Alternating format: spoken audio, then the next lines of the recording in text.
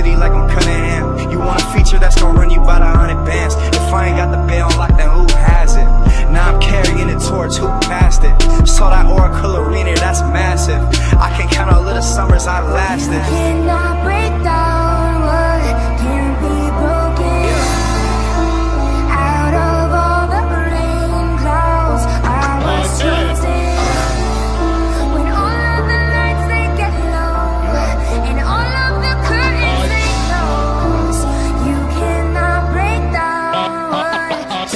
I left the best friend that I've ever known die alone. Was gonna tell you the next day. I'm so sorry, I'm fighting my own demons. I won't lie, they won't leave me alone, eating at my soul this whole time.